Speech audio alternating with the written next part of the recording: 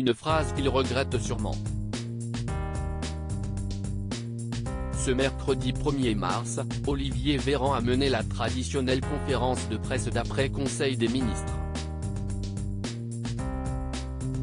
Et alors qu'il évoquait la prochaine journée de mobilisation contre la réforme des retraites, organisée le 7 mars prochain, le porte-parole du gouvernement a fait un lien étonnant entre le potentiel blocage du pays dans quelques jours et la sécheresse.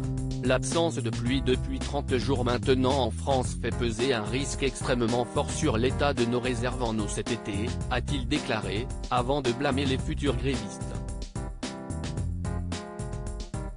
Mettre le pays à l'arrêt si est prendre le risque d'une catastrophe écologique, agricole, sanitaire voire humaine.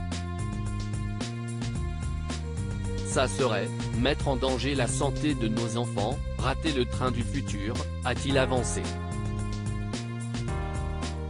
Rapidement relayée sur les réseaux sociaux par les médias nationaux, la comparaison osée d'Olivier Véran a fait réagir de nombreux responsables politiques.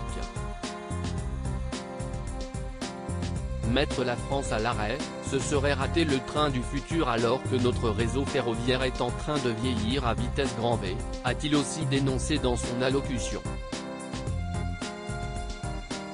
Mais ces mots ont largement choqué et interpellé. Olivier Véran s'enfonce dans le ridicule. Si les Français bloquent le pays contre la réforme des retraites voulue par les macronistes, ils seraient responsables de la sécheresse. Se rendent-ils encore compte de ce qu'ils disent? A ainsi fustigé l'élu LFI Clémence Guettet sur Twitter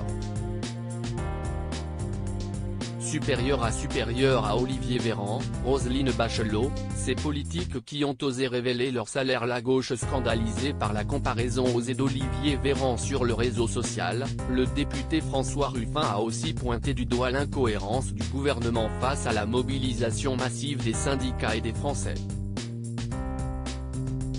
On est en pénurie de médicaments, ils délocalisent notre agriculture aux quatre coins du monde, découvrent la crise écologique en septembre, détruisent l'école et l'hôpital, a-t-il d'abord énuméré, visiblement lassé de constater le culot de l'exécutif.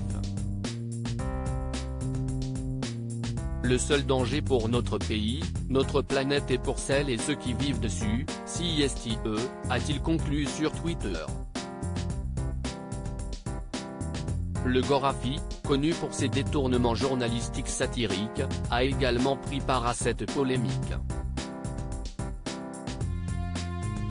Olivier Véran accuse la grève du 7 mars prochain d'être responsable de la collision entre la Voie lactée et le galaxie d'Andromède dans 4,6 milliards d'années, a partagé le média, ridiculisant allègrement les propos de l'ex-socialiste. Côté écologiste, Julien Bayou n'a pas mâché ses mots pour qualifier l'intervention d'Olivier Véran. Quelle honte, comment osez-vous? Vous devriez vous consacrer 24-24e à la lutte contre le dérèglement climatique au lieu de brutaliser le pays avec la réforme des retraites, écrit-il, surpris par la soudaine préoccupation du gouvernement pour la cause environnementale. Après ce torrent de moqueries, le premier défenseur de la réforme des retraites réfléchira certainement à deux fois avant de retenter pareille comparaison. Crédit photo, Stéphane Le Mouton.